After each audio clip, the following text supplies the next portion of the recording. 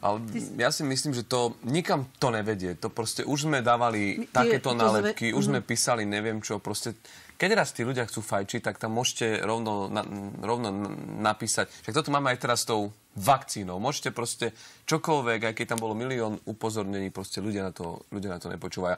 A konec koncov, e, e, raz sa takto zastavila jedna taká staršia pani, videla mladého človeka, jak v parku na lavičke fajčil, tak je, chcela tak výchovne, tak prišla za ním a hovorí mu, že mladý muž, že pre, pre, prečo fajčíte? Vy neviete, že vám to môže 15 rokov zo života ukrojiť?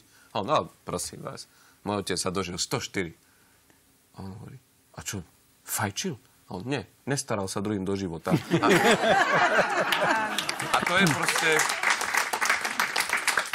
To, ja, pardon, ja keď som ešte fajčila, sedela som na terase pred jednou kaviarňou a teraz som fajčila, išla jedna taká osoba s takými taškami, taká odtrhaná, e, jasná bezdomovkyňa a zastavila sa a povedala, nedajte mi aspoň jednu cigaretu.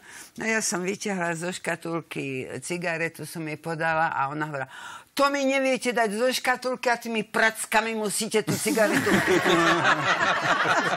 Ja, ja by som ešte dodal, lebo taký smutný príbeh na záver. No, daj. že keď som mal 6 rokov, tak eh, ma opustil môj otec. Eh, on eh, si išiel kúpiť cigarety a už sa nikdy nevrátil.